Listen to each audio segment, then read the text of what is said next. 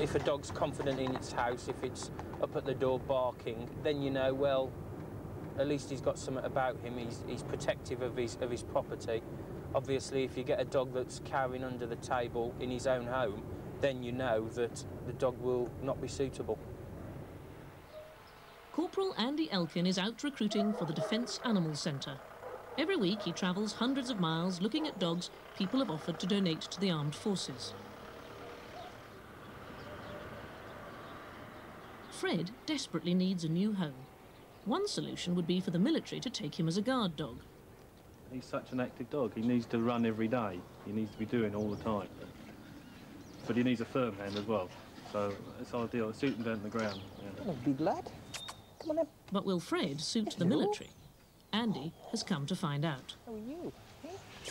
Come on in. Jeez. What I'm looking for is a confident German Shepherd, which will have a, basically a tug of war with a padded arm. Possession's important, obviously, because if he's chasing somebody, then we want him to sustain the bite and hold on. Well, he's definitely got the possession there, hasn't he? Oh, yeah, he'll, uh, he'll play all day. Fred's owner has had him since he was a puppy.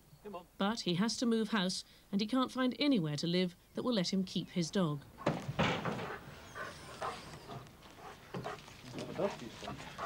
It's time to say goodbye.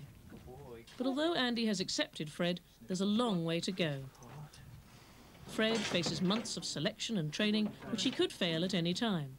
If he makes the grade, he'll join the 600 guard dogs that help protect British troops all over the world. As I say, give us a ring as many times as you Yeah, want, will, yeah. and we'll uh, we'll be able to tell you exactly how he's doing. Fred will never see his owner again. Okay then. Cheers now.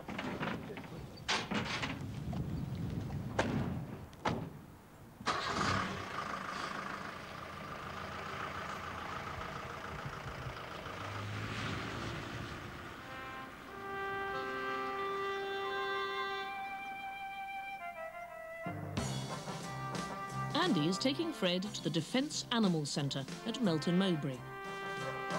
Run by the Royal Army Veterinary Corps and the RAF, it's the nearest thing there is to a military academy for animals. It's responsible for the recruitment, training and welfare of over 1,000 dogs and 400 horses that are currently part of the British Armed Forces.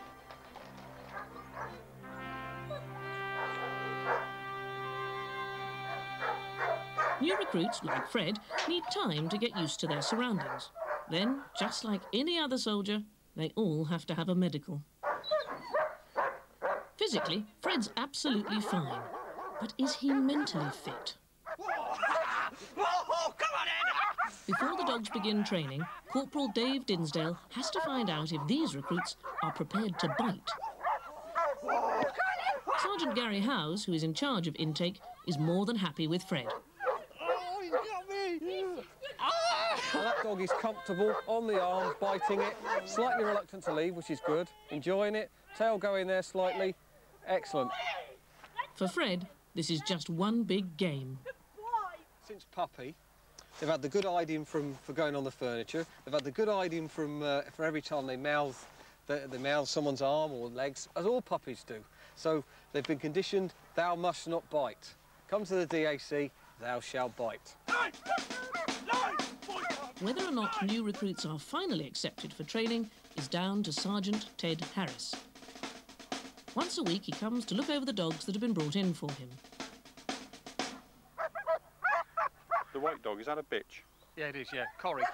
Um, uh, big problem when she first came in. Very, very uh, nervous. Right. Back of the kennel job.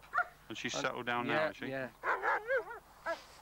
We've had a few white ones, and um, they, they have been problems to train.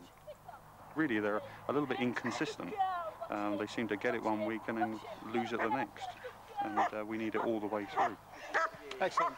Well played, team. Thanks very Nice much indeed. bite on both of those. yeah. What else you got? Fred. Okay. No problems with him. He's been biting all the way through. All the way through. Come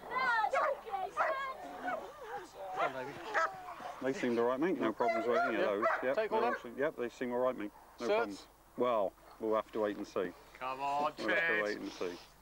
Fred's made it, and so has Corrie, despite Sergeant Harris's reservations about white dogs.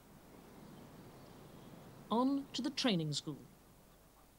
Fred is going to be taught by Corporal Gary Johnson. The most important thing in the first couple of weeks is a relationship period because you've just picked this dog up, you know nothing about him, he knows nothing about you, and you've got to try and build a relationship to train him. So we do that by taking them out, sitting in the fields, playing with them, feeding them, just things that you'd naturally do with a dog of your own at home, just so they can gain trust and they can work for you. He's lovely. He's like my first dog. Ain't you, Fred? Hey, what's this? And the same personality.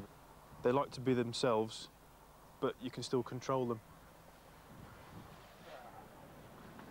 Apart from Fred, Gary has another dog to train, the Rottweiler called King. Corporal Griff Griffiths is going to train Corrie, the dog Sergeant Harris had doubts about.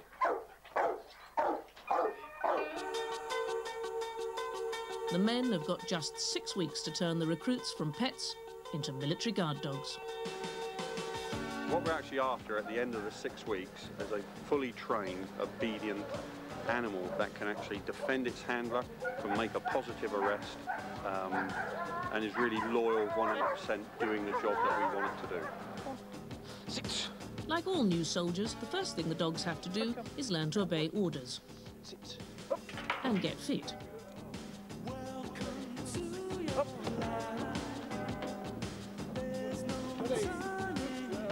Fred was very lazy when I first picked him up. You put him up in front of normal obstacles, agility and everything, then all he does is he tries to whinge out of them. Dad, don't let me do it, I'm scared. Give him a little bit of praise, get him to settle down. Good girl. And down the other side. Good lad. Like, lots of praise. Done really well. We're getting there. He'll be all right.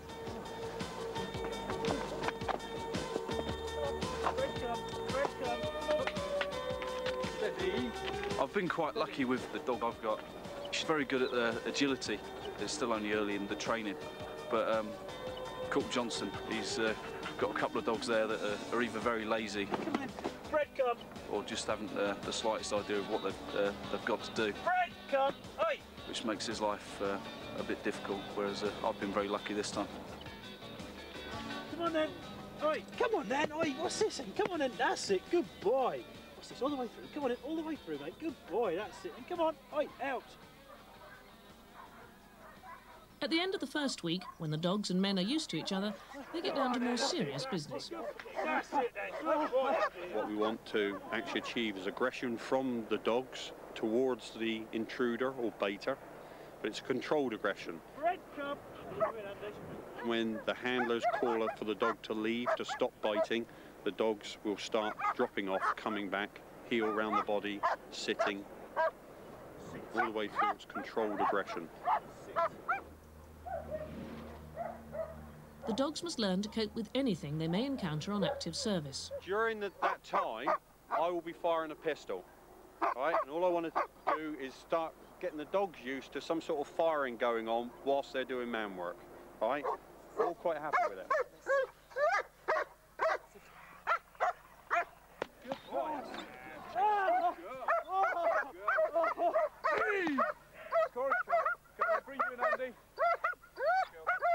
Dog that is frightened of guns is useless.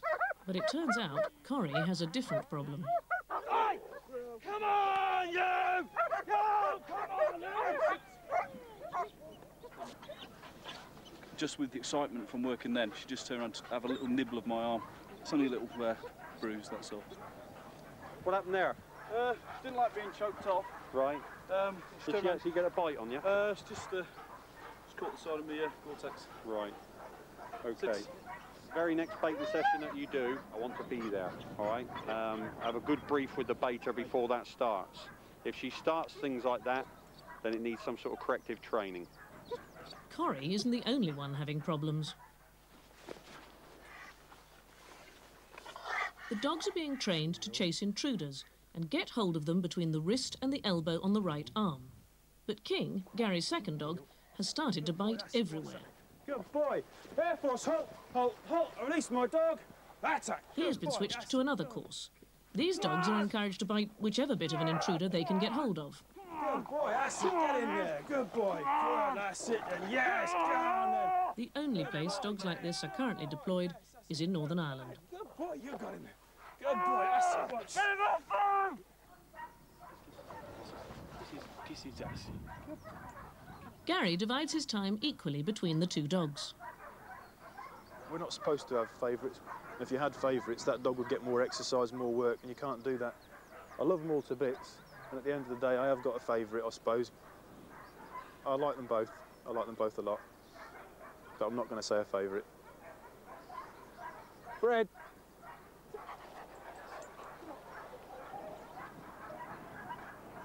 Good boy, come on in.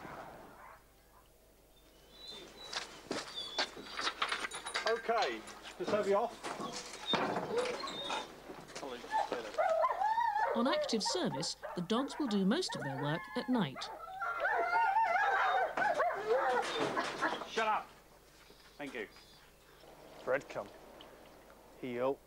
Fred's been doing full attacks in daylight, and with just two weeks to go until the end of the course, it's time for him to try it at night. Good, boy.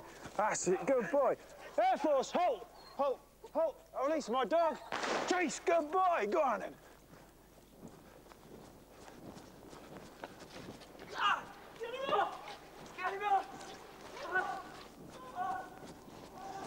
Stand still. Dave! Fred, come! Fred, come.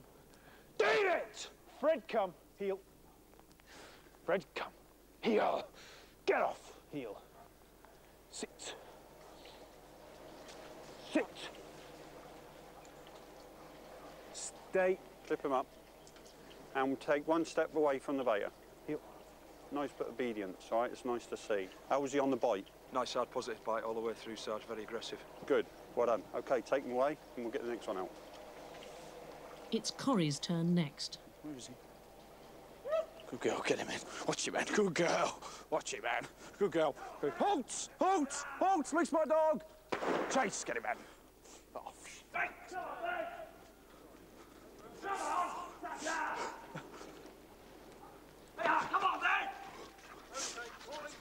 come! Come here. Steady. Heel. Good here. Corrie, come. Come here. Heel. She's worth the effort. It's not disobedience, all right? It's overexcitement. If the trainer can find the right buttons to push, she will be an asset, she will make, and she will be a bonus to a unit. Good girl. At the end of their training, before the dogs can begin active service, they'll be tested to see if they've made the grade. With a week to go, Fred and Gary have a problem. When I was grooming him one day, I found a little uh, lump on his side, so I took him sick to the vet. The vet tried expressing it, thinking it was going to be like a cyst with a bit of pus in it, but it wasn't. So she took him sick and operated on it. As you can see the scar line down there. He got stapled. He had his staples removed after about a week of, after the operation. So we're both getting back on top of the training now. Fred's lump was harmless, but the operation has delayed the final test. It's given Griff some extra time to work on Corrie's bad behaviour. She seems to be making progress.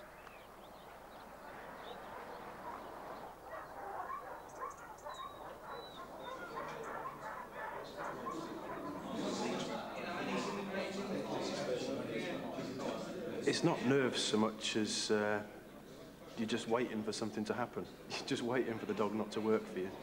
If your dog doesn't do it on that one day when you put up for pass out, you look like a right idiot. All you've got to worry about, right, is Captain Kelly. But you could walk out there with a poodle, it doesn't really matter. As long as you salute him, the dog will pass, all right? I know that. Corrie? Well, we'll wait and see. But uh, it just depends if Corrie pulls the, the, some out of the bag at the last moment. We're not going to get the best, right? We, we never do get the best, and we've got to try to make the best of what we got. But we'll see. She's bound to play up on the day, isn't she? As it turns out, Corrie is the first one up for Captain Kelly's inspection. Morning, sir. Morning, Sarge. Morning, Cole Griffiths. Got a few of these in the system that don't seem to be progressing. I don't know if it's because they're they are white dogs. They all seem a little bit hyperactive. Yeah, you can see with the fingers, he's uh, raising his head. I mean, a dog trainer can cope with that sort of problem, but uh, a young dog handler Yeah. may be a different uh, kettle of fish altogether. Bad sit. No. Come, that'll do. Take the dog away. I want to see it in about uh, week's time. Okay. Have Thank- him correct those problems. Thank you very much. I'll speak to you later. Take them away. Corrie has been given a second chance. If dogs do fail after they've been taught to attack, then, under the Dangerous Dogs Act, they can't be rehomed. If they can't be found work with a security firm, they're destroyed. It's Fred's turn next. Corporal Johnson's done some hard work with him. So I'm going to be impressed this morning, You will be, sir. especially after Corrie. Trust me. I need to see something nice.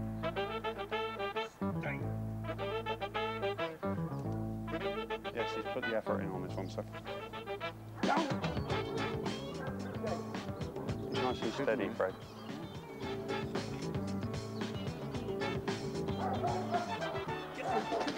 Freddie, come.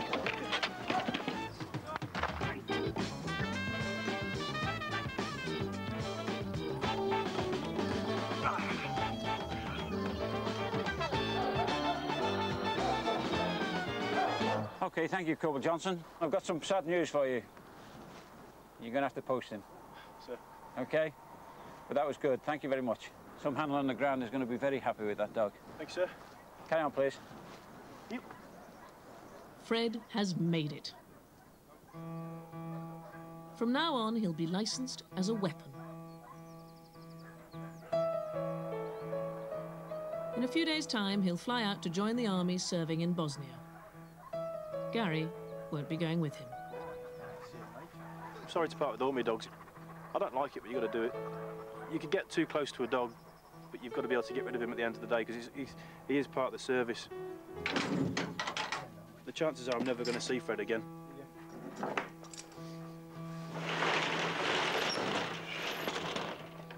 Right, Julie.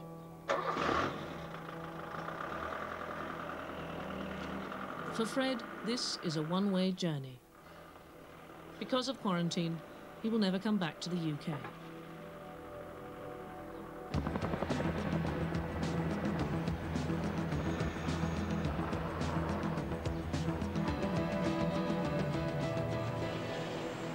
Five months after leaving his home in Norfolk, Fred arrives in Croatia en route to Bosnia. Sergeant Martin Drake from the RAVC, who's come to meet Fred, is responsible for the 26 dogs currently serving in the area. I had a good trip. Right, Sam? Yeah, good one. Hi, Mandy. You all right? Hello, Fred. You all right, fella? Right. Yeah, if you want to take him out, yeah, and then we'll bring Fred is now part of the multinational peacekeeping force set up to maintain the ceasefire between the warring factions over the border. Big boy.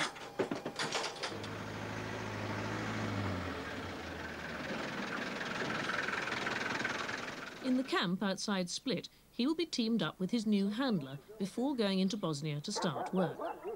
First, he'll have some time to acclimatise to his new surroundings. And with the temperature well into the 30s, Fred's got a lot to get used to. Nice and steady. Good fella. Good lad, Fred. All right? Come here, Fred.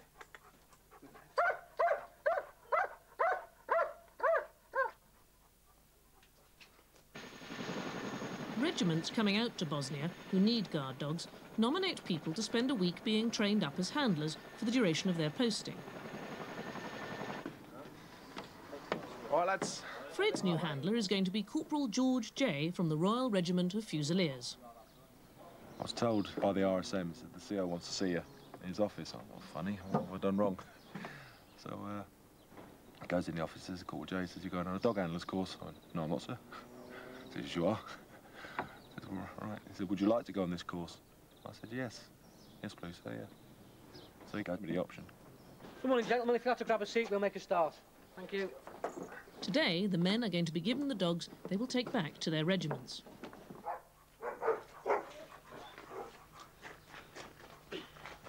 Okay, here's Fred here. Nice and confident with him. In you go. Plenty of talking to him. Fred. Yes. Hello. Come here, Fred. Hello. Come here. Fred. Hey, let's go for a wee. Okay, it's good. Let's go for a walk. That's it. Dog coming out. That's it. It's a good boy. Come on. Let's go for a walk. Dog coming out. Have the handler for Benji. Thought he'd be a bit more aggressive as I went into him, but no. He seemed to like me going in there. Good boy, isn't you? Lovely, isn't you? Yeah. Okay, lads, gather in. Falling on the road. Just make your dog sit. Sergeant Drake has got just one week to turn George, an inexperienced handler, and Fred into a fully operational team. Sit. But Fred seems to have forgotten everything he's been taught. Sit. Good boy, good boy. Okay, remember, as soon as we step off, get the dogs to heel straight away. By the front, quick march. Heel. Don't be afraid to check your dog. Get him in a heel position. Heel. Length of the lead, couple J, give him room to move. Yeah. That's it. Heel. Don't be afraid to check him. Heel. Remember, you're in control of the dog. The dog's not in control of you. Heel. It's a fight to see who's in charge of the Heel. team. Is the dog the, the one with the brains and rules it, or is it the handler? Give the word of command. Sit. Because the quicker they work together as a team, the better results we're going to get. And keep talking to the dogs. Get them used to your voice. As we were walking up the road, I was in the front. I was shouting, sit. And he wouldn't do it, and then I saw the others. And I just said it once or twice, and they went straight down. I thought to myself, God almighty, swap, please. But yeah, it's a challenge. It's a challenge, all right.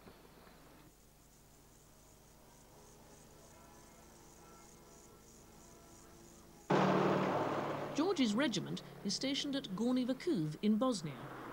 It was the centre of fierce fighting during the war between the local Croats and Muslims.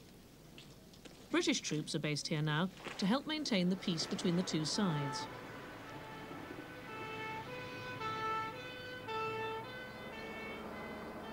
George and Fred are now part of a two-dog unit that guards the battalion headquarters at night. During the day, with time on their hands, they've quickly settled into a routine. Fred, come. About two or three times a day I take him out uh, just for a bit of play, so he's got a bit of spare time to relax, unwind himself, and just run around. It's the only time I get to spend good quality time with him. Boy. It's important to me because uh, if I get lonely or get these down days, then I can turn to him and talk to him about anything and everything, and he doesn't answer back. Yeah, it's great. The local economy is in ruins after the war.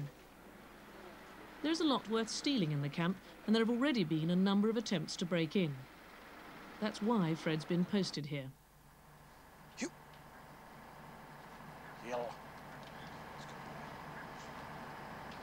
It doesn't get really very quiet around the camp till about midnight onwards.